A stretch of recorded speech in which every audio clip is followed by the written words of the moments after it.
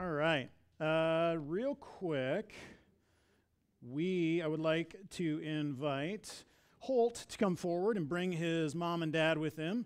Uh, this is Nick and Krista Miller and little baby Holt.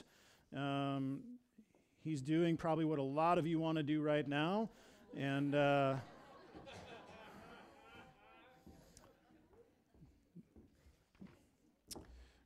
so we are all envious of Holt. Uh, this is Holt and his older sister Knox. We uh, we met Knox what two years ago now. Man, no, live. That's crazy. Uh, well, they brought uh, Holt to dedicate back to the Lord, and so we're going to do that this morning. And uh, a little bit about Holt. Uh, Holt was born on Mother's Day, so of all things, a pretty special day for that. Um, how did they choose the name? Holt came from a long list of names, and that's just the one they settled on. There was no family significance. Um, Holt loves his family, especially his sister Knox, and loves to eat, and believe it or not, likes to make noise. Um, so this is good. Um, Holt does not like to be sat down and walked away from. So who does? I think that's really Holt's personality is happy, smiling, very easygoing, and they're dedicating him so he grows up knowing and loving and talking to God, knowing the sacrifice Jesus made for him. Their hopes and dreams are for Holt to follow his hopes and dreams and to serve God. So, what a beautiful opportunity we get this morning. So, we have a little, uh, little thing that um, I think, remember last time we did it. Don't jump the gun. I'm going to cue you up on what to say, but I'm going to ask you some questions in terms of our faith and our growing of faith and your responsibility as parents. We understand that dedication back to the Lord is not a sa- salvation for your child, it's, a, it's you and your commitment to grow, uh, to lead your children into a faith that so one day that they can make that profession of faith themselves. The dedication of children follows a Jewish custom of going to the temple and presenting infants to the Lord. Joseph and Mary followed this practice when they took infant Jesus to the temple for presentation. This ritual recognizes that a child is a special gift from God with a purpose to be fulfilled for his glory. It recognizes the responsibility of parents and of the church in raising the child to know and love God. Deuteronomy chapter 6, verses 4 through 7. Listen, O Israel, the Lord is our God, the Lord alone. And you must love the Lord your God with all your heart, all your soul, and all your strength. You must commit yourselves wholeheartedly to these commands that I am giving you today. Repeat them again and again to your children. Talk about them when you're at home and when you're on the road, when you're going to bed, and when you're giving, getting up. Nick and Christy, you have brought this child whom God has given you to be dedicated back to Him, thereby testifying to your own commitment of faith in Christ and the assurance you hold that the grace of God is even now at work in his life. From the day he was born, it has been your duty as parents to teach and nurture the meaning of what we are doing here today. That this is something you did as an act of obedience to God, and that someday he will decide for himself whether to be obedient to God in order to testify to your faith and to your desire to nurture your children within the Christian faith, please respond to a couple questions. Is it your promise, with the help of God and the support of those around you, to bring up your children in the instruction and discipline of the Lord, to pray with them and for them, to make every effort to so order your own life that you will not cause this little one to stumble? If this is your desire and promise, please answer, By God's help, we will. Is it your promise that you will make every effort to faithfully worship, give, and serve in Christ's church, in order that your faith may grow and your child may hear and know of the surpassing joy of the good news of Jesus Christ? If this is your desire and promise, please answer by God's help, we will. Is it your promise to encourage your children, as soon as they are able, to comprehend its significance, to acknowledge personally their own faith in the Lord Jesus Christ? If this is your desire and promise, please answer by God's help. We will. Math, Mark 10, 13 to 16 says this One day some parents brought their children to Jesus so that he could touch and bless them, but the disciples scolded the parents for bothering him. When Jesus saw what was happening, he was angry with his disciples. He said to them, Let the children come to me. Don't stop them, for the kingdom of God belongs to those who are like these children. I tell you the truth Anyone who doesn't receive the kingdom of God like a child will never enter it. Then he took the chil- child, children in his arms and placed his hands on their heads and blessed them. Sometimes I like to hold the baby. I think we're going to avoid that this morning. Just he's resting very, very peacefully. Um,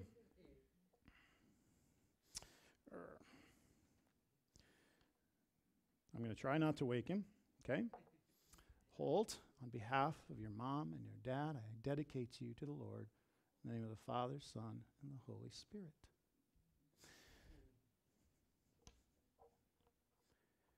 Would you join me in praying over Holt and mom and dad? Merciful God, I thank you so much for Holt, his joyous that he brings to life. I thank you for his sister Knox. I thank you for his mom and dad.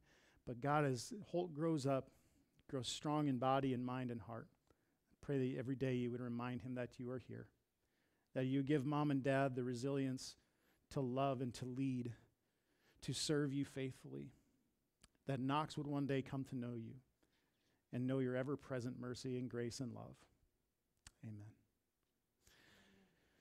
We give uh, the family, the dedicated family, so they may have a Bible. We give them this little one that they can read. Um, it's full of pictures for those of us that like pictures, um, and a little uh, certificate of dedication that they can choose to do what they wish for. So, would you join me in welcoming Holt to the family?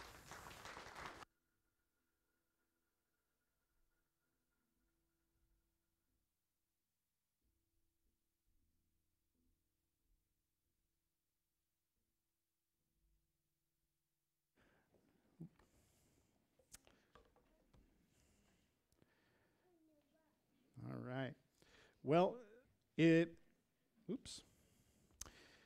Anyway, my name is Kirby. Sorry, I'm getting my stuff together here. Uh, I'm the lead pastor here at Living Hope. Great to be with you. Um, we got one more Sunday before it gets cold, but we're here, right? But that reminds me that next Tuesday, not in two days, but next Tuesday is Halloween night. And we need candy. We are not, we do not have enough candy.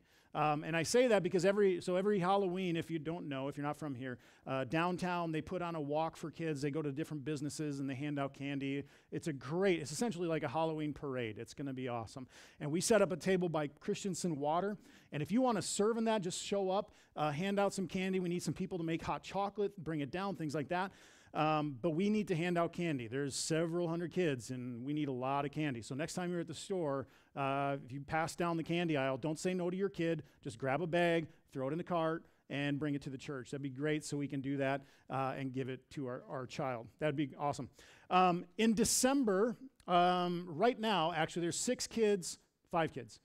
Five kids? I don't know. There are some kids along with my wife out in Rapid City currently, and they're at the fall youth retreat in Rapid City. And so they're coming home today. Uh, so thank you for your prayers on, and thoughts on that. But in December, over Christmas break, there's a few of them going to Cincinnati, Ohio for the National Youth Gathering called Follow.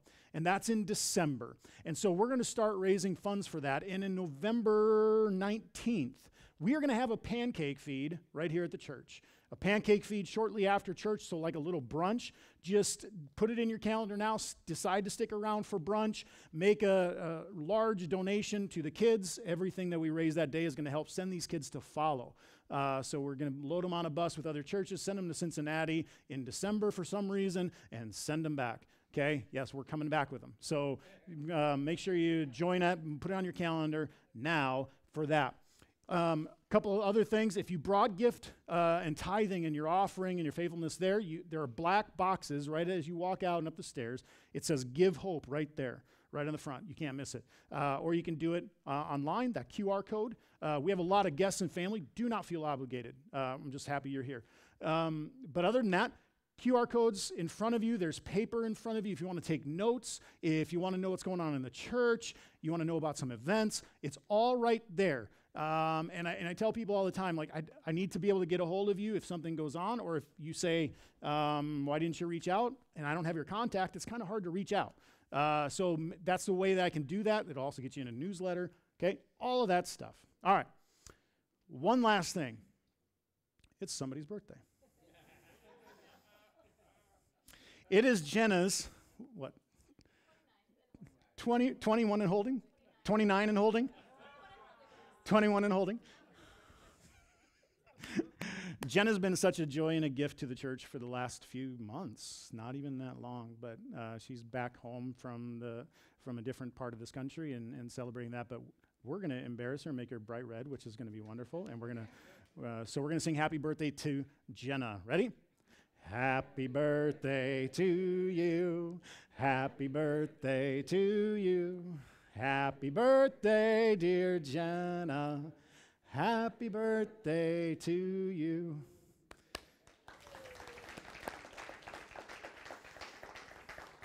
Jenna, we love you. Enjoy your 21st birthday.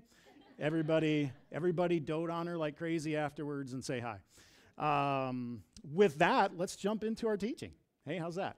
Um, so we're starting a, a, little series where we're going to be looking at uh, a, word uh, within the church. Now, within the church, if you've been around the church for a day or a year, a month, um, you understand that we've got some weird words.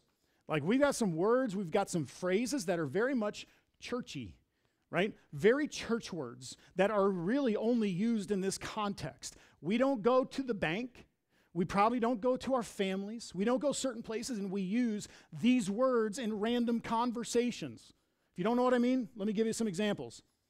We are doing life together, sanctification, transubstantiation, incarnation, quiet time. Of course, we probably do that when we have a toddler. Um, hedge of protection, fellowship, life group, washed by the blood, Eucharist, dying to self, evangelism, laying on of hands has a different meaning in church. Born again, a holy kiss, propitiation, tribulation, body of Christ, atonement, substitutionary. These are not everyday words, and I'm sure some of you are thinking, like, I don't know what half of that means, but you've heard them probably. And you maybe you even came up with some of your own, right? I mean, the words we use are specific church words. They're words that we use only in this context, and they mean something, but we don't know it. And so, one of the words that we are going to talk about for the next few weeks is one of these words, and it's holiness. Now, when, we, when I say holiness, we say, oh, I know what that means. And I, I, think we have a concept, I think we have an awareness about the idea of holiness, but we don't fully grasp the, the overwhelming idea of what holiness actually means. But if I say God is holy, I think most of us would grasp that. Most of us would understand the concept that God is holy. Now, Living Hope is a Wesleyan church. And the first question I always get what in the world is a Wesleyan? Valid question. Well, Wesleyan is a holiness church. Convenient, right? We are a holiness church. We have a holiness tradition. And we are a holiness tradition within the Protestant church. That's a whole lot of church words in one sentence, isn't it? But that's who we are. And if we are a holiness church, we should probably understand what holiness means a little bit, right? And so we're going to talk about this idea of holiness. Now, let, us start this. What if I were to ask you three general categories? I, I, am going to do some class participation. So uh, before you follow Holt's uh, cue, stay with me for a couple minutes. Class participation. I'm going to give you one category. I need you to give me two others. Anything, all right? Here's a category sports cars. Okay, get the concept? Category. Give me one more category. Animals. Another category. Food. Perfect. Food, animals, sports cars. All right. Now, if we were to go around the room and I'd say, What is the best animal ever? What would you say? Everybody at once. Go. You're wrong. I mean, th- so the truth. Now, what is what is the greatest food ever? All at once. Wrong. Right? So we have this idea, we say, look, this is the this is the category, and now we say uh, we say this is the greatest, this is the greatest, this is the greatest, but then I ask you and you have a totally different answer. That doesn't make sense to me. That's not the greatest. This is the greatest. But then we start erasing, we start adding, we start moving around, right? We start re identifying. Now, at the end of the day, we're just going to quit because it's impossible to come up with the greatest of anything. Why? Because it's completely subjective, it's completely based on our own opinion. There is absolutely no way to say this is the greatest of all time. Now, if I give you a different category, here's the category The category is a comic book character with a last name Wayne who dresses in black, doesn't have superpowers, but has a lot of money and many tools. This character drives around Gotham City and has an assistant named Alfred. Who is this person? Batman. According to this category, there is only one possible answer. They are the best in this category, right? There is no number two. There cannot be a number two, right? This is the category, and there's only one legitimate answer, and it's Batman. This idea, this simple little game, helps us understand the concept of holiness a little bit. Because we're going to look at this word because I think we believe we understand it. We put it in a category, but we don't truly understand its, its depth or how to define it. I like how Pastor Rich Villodas uh, defines holiness. He says this In our minds, holiness is usually about what we abstain from. But Jesus saw holiness as what you give yourself to, namely mercy, love, and hospitality. In the end, the holiest people are the ones who love well. More often than not, if you're anything like me, I grew up with holiness being what you abstain from, kind of like what he's talking about. All the things that we say no to. And if I say to no to enough bad things, that means I'm holier than you. That means I'm, I am in good graces with God. If I say no to this thing, this idea, this whatever, that means I'm a pretty holy person and I'm pretty close to God, right? And so we've defined holiness as what we are against, and that makes us holy. But holiness starts, it finds itself, and it ends with God, not us. Not about the things that I do or can't do, but it starts, finds itself, and ends with God. And our little example of Batman and these categories, I think, helps us understand that there is no number two with God. That there is only one within this category in, the, in terms of the holiness. He is all alone. And now, to be holy, we, we may have heard this phrase. This is another church phrase to be set apart. Right? We've used that phrase in church a lot to be set apart. Now, that's how we define God, that's how we define holy. That's a biblical idea. And to be set apart means to be separate. It means to be different. It, it, it means to be outside of that, right? Now, if we understand that is God, that's holiness, what does that mean for us? To understand holiness, I think I want to go all the way back to the New Old Testament. And we're going to go into uh, the book of Leviticus. Le- Leviticus now is a very hard book for us to understand. It's a very weird book. Um, it's, it's filled with rituals, it's filled with customs, it's filled with uh, rules, all of this stuff that no longer applies to us and no longer applies to 21st century America. So it's very hard to interpret, very hard to understand all of the depth and complexity about what's going on. But within all of that, I think we can get a really good picture about the holiness of God. I don't think we need to understand all the customs. We don't need to understand all the stuff to understand that the holiness of God can be found here.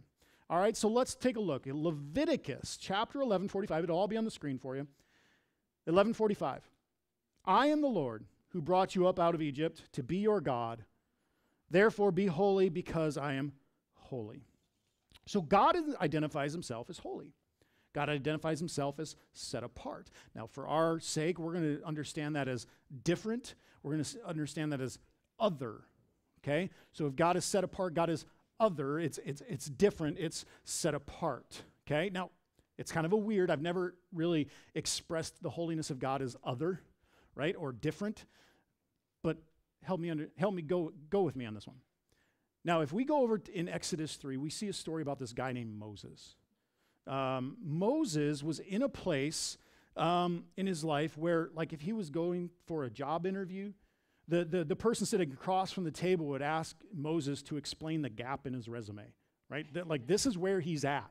Because he had just left Pharaoh, he had just left Egypt, fled, fled Egypt, and now he's living in the country with his father in law. He finds, he starts a family, gets a wife, gets some kids, and is working for his father in law, tending to the, the livestock. And he's just going about his business, uh, doing nothing. But that's where he's going. He's not the leader of the Egyptians yet, or um, the Israelites yet. He is not leading them out of Egypt yet. So he's in this in between place. He kind of found his role. He says, This is what I'm going to do. I'm just going to tend the sheep, work with my father in law, Jethro, settle down, have a wife, have a kid, and just go on with life. But something usually happens and God interferes with our plans. You ever experience that one? Um, and that's about, about was what to happen to Moses. Exodus chapter 3, verses 1 to 6 says this. Now Moses was tending the flock of Jethro, his father in law, the priest of Midian. And he led the flock to the far side of the wilderness and came to Horeb, the mountain of God. There the angel of the Lord appeared to him in flames of fire from within a bush. Moses saw that through the bush that though the bush was on fire, it did not burn up. So Moses thought, I will go over and see the strange sight why the bush does not burn up. When the Lord saw that he had gone over to look, God called to him from within the bush, Moses, Moses. And Moses said, Here I am. Do not come any closer, God said. Take off your sandals, for the place where you're standing is holy ground. Then he said, I am the God of your father, the God of Abraham, the God of Isaac, and the God of Jacob. At this moment, Moses hid his face because he was afraid to look at God. All right, let's start with this idea of the burning bush. Now, this is this this is kind of along the same lines of like David and Goliath. Like, even if you've never been to church, you've probably heard the idea or the story of the burning bush at some point, right? It's in every kid's Bible, it's, it's in every Sunday school class. We know the story, so much so that we've lost its significance, we've lost its power in our lives, right? It's old hat. But this idea of a burning bush, a bush that is on fire but is not being consumed, is other. It's different it's set apart. There is something going on there that is outside the forces of nature. This bush, which should be consumable if it is on fire, doesn't burn up. It is, it is something that is the, out of the ordinary, the order of things. And when we think of miracles, this is what we think of, right? It's, it's the things that are, there, there's a natural order of life that we go through. There are things that happen in a natural way, and then there are things that are unnatural, the holy movements of God. And we look for those. We want those. Those are the things we pray for, we petition for. Those are the things. But here's the deal those are not common, those are not ordinary. That's not the way it always works. That is uncommon, that is different, that is not the common everyday life that we have, and it's not the way that God truly interacts with us on an everyday basis. So when we think about the way we pray, the way we look at life, the way we go through all of this stuff, how we view the miracles of God should be held in, in tension of that this is not ordinary. It's extraordinary. It's supernatural. It goes against the order of life right? It's not an everyday occurrence. So when the bush is on fire but it does not burn, we see that God now has entered the picture. It's amazing to see how God enters this picture. So after leaving Pharaoh, he goes to work with his father in law and he just settles down, goes into life, and is just going on with his routine of his sheep. And but God says, I have something else for you. And he starts to instruct Moses he says, and, and he starts this fire, he creates something that draws Moses in. And it's the holiness because God has shown up. He's taken the ordinary world and changed what's going on. And Moses is drawn to that. And now, as he gets closer and closer, he gets closer to the holiness of God. And you know what happens? Everything around the holiness of God becomes holy. So the bush is where God is God is is residing in this story and what else became holy in this story? The ground. It's just dirt. Just weeds, all that stuff we try to yank from our yard. Just rocks and sand. Might be feces of the cat animals he's just bringing up. I don't know. But you catch this? The closer you get to a holy God, the things around it become holy everyday, common stuff, common people become holy the closer we get to a holy God. So, with our working definition of holy, as set apart, as different, as uncommon, as other, we see God as so much more than just a knowledge. Like, I've got a knowledge of God, I have an awareness of God, I've had an experience with God. The holiness of God is so much more of that. Because when God shows up, or when God is interacting in this, in this way, everything around it becomes holy. And so when God says that you can be holy, what does that mean for the people and the things and everything around you? If everything around God becomes holy, what does that mean for us? He had no choice. Look at when Moses in verse 6, he says, At this, Moses hid his face because he was afraid to look at God. This was the only response Moses could come up with in terms of a holy God. There is a clear distinction between a holy God and us. There is a distinction between holy and common. There is a distinction that sets us, that sets God apart in all this. So when we jump ahead now, we're going to jump ahead in the story of Moses. We're going to jump ahead to a point where Moses is not the only one that gets to witness this. See, at the burning bush, he's up there all by himself, only him and the sheep. And he witnesses this amazing thing. And I can imagine people like, sure, Moses, bush, fire, okay right? But he's the only one to witness it. It now shifts. We're jumping ahead in the story. And the entire nation gets to witness the power of a holy God. And he gets to share that. And there's an, a, celebration. There is a praise. They have just been, been led out of Egypt. They've been led through the Red Sea, right? The parting of the waters. That's another story we mo- most of us know. And they have this, this angry mob, this army chasing them. And what happens? The water collapses on them. They're all gone, no more, but the people are free. Right? And what do they do? They have a party. They have a I mean it's a it's a it's a thing. They're on the other side of the water and they're having a party. And this is how what they sing. This is what they say back to God in Exodus 15. Who among the gods is like you, Lord? It's a weird question. Who is like you? Majestic in holiness, awesome in glory, working wonders. Now, I can see this, right? So some of you are going to go home this afternoon and, and, watch the Vikings lose, and that's okay. Oh, no, that's tomorrow night. They're going to lose tomorrow night. Um, but you're, you're, anyways, so you're going to go home and maybe watch a game or maybe you watch some baseball this week, right? And when something good happens, yay, right? And everybody cheers, everybody gets up, and a- anything bad happens, it's like, ah, right? But I can, can I, can't you picture this? Like the people are on the other side of the water. This amazing thing happens. And they're like, Who among you? Right? I can see them. There's like chanting against the opposite team. Right? Our team is the best.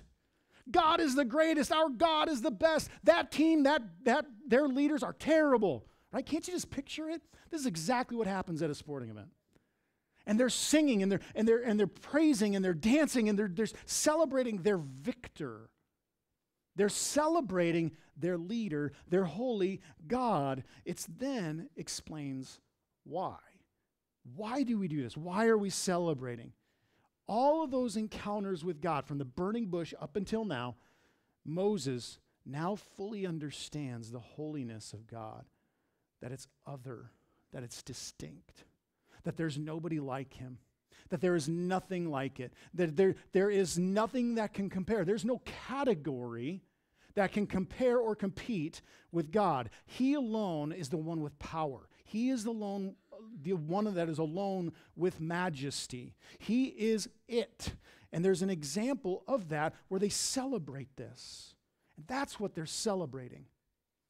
There's another story I want to point to in the Old Testament. It's found in the book of Jeremiah.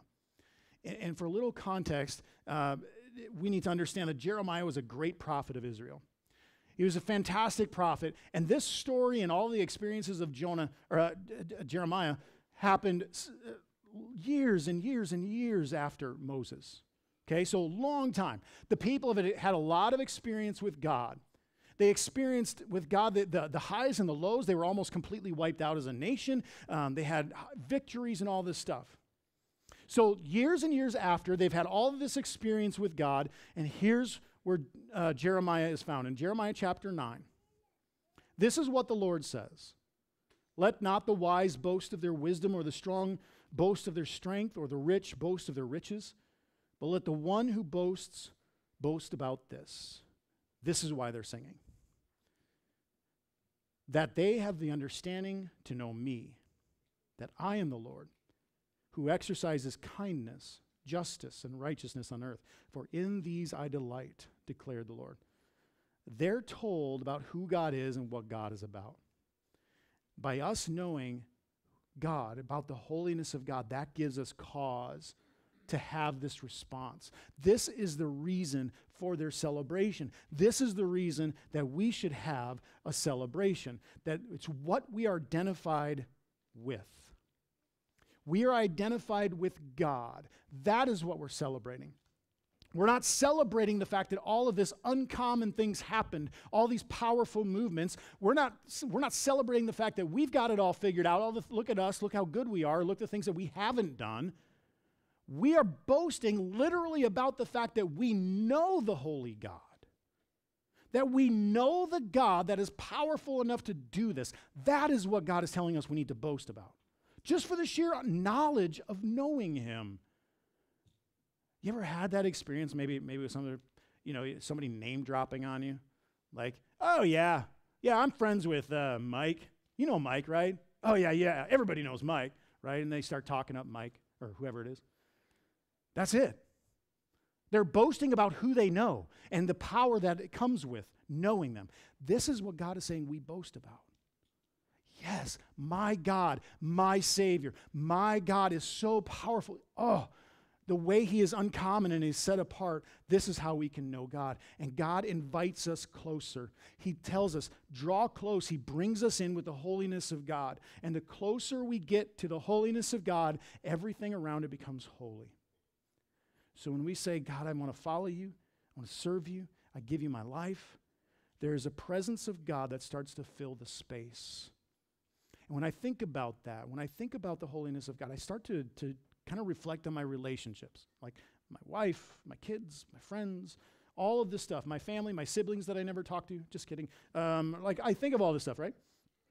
Now, if I'm going to develop those relationships, I need to be intentional right? I can't just show up once a week and say hi to my wife and walk out the door.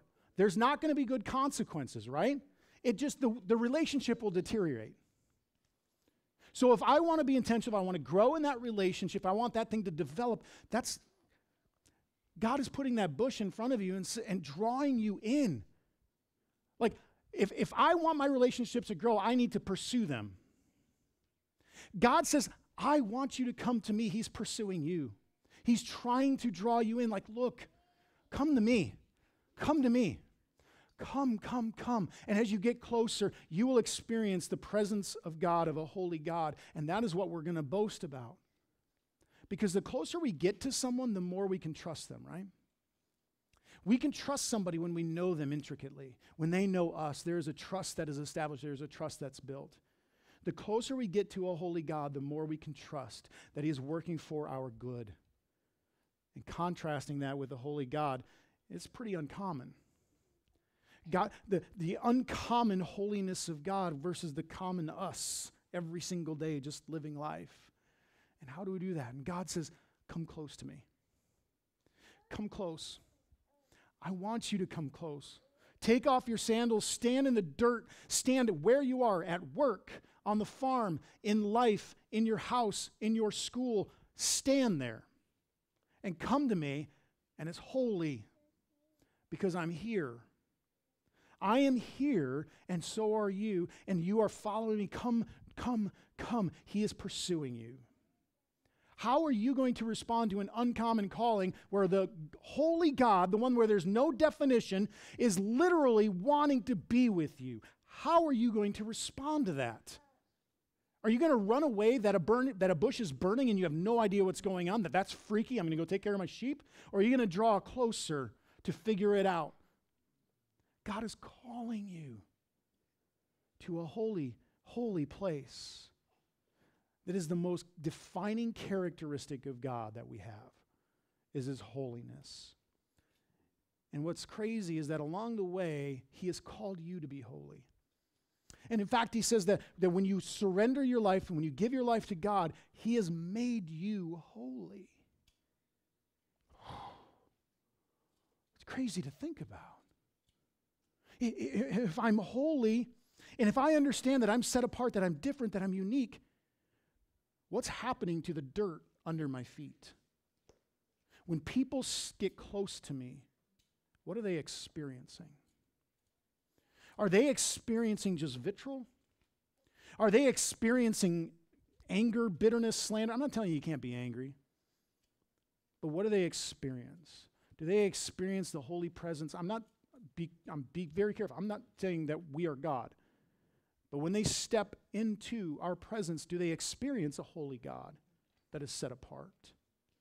Or are they just experiencing the common every day? Because the uncommon, separate, if we say you're set apart, you're separate from the world, you are set apart from the world, it doesn't mean you, you just follow all the rules and you, it's all the things that you say you don't do, because then if I don't do this, then I'm different from the world, and look how holy I am.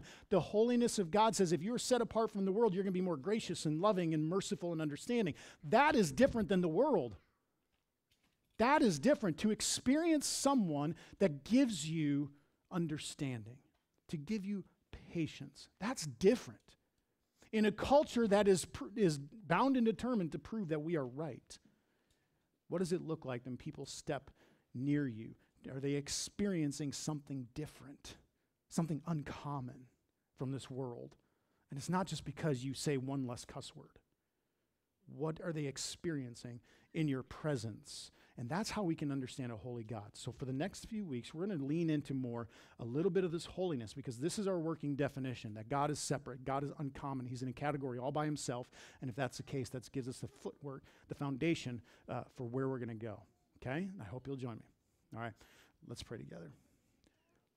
Holy God, we're here.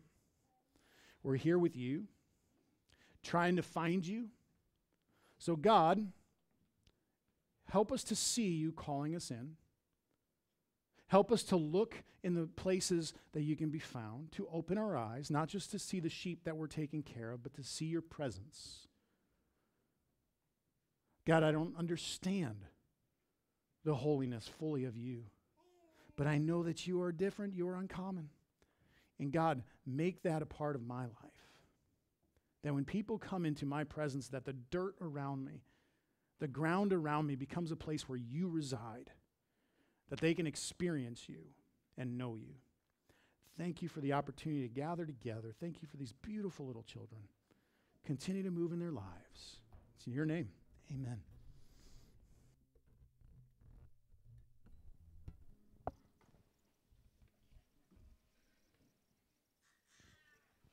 Will you stand with me as we close with this song?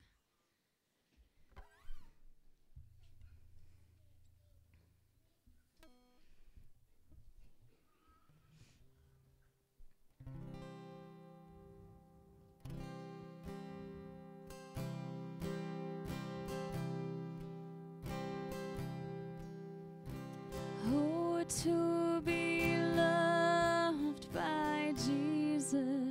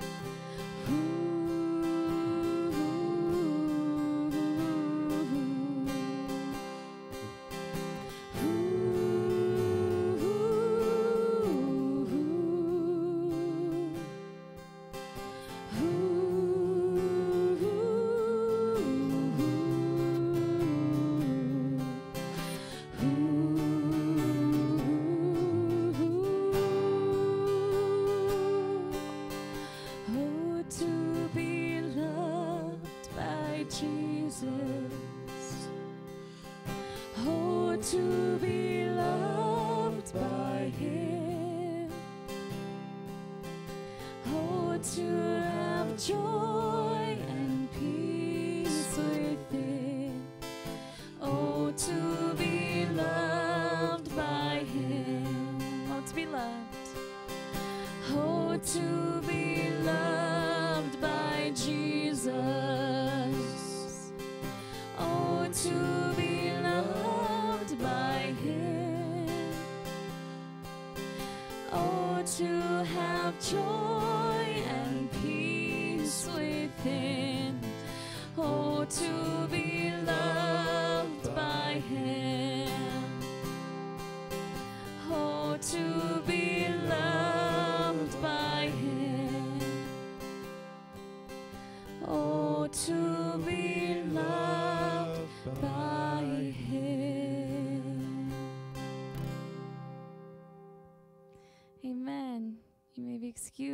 you all have a wonderful Sunday.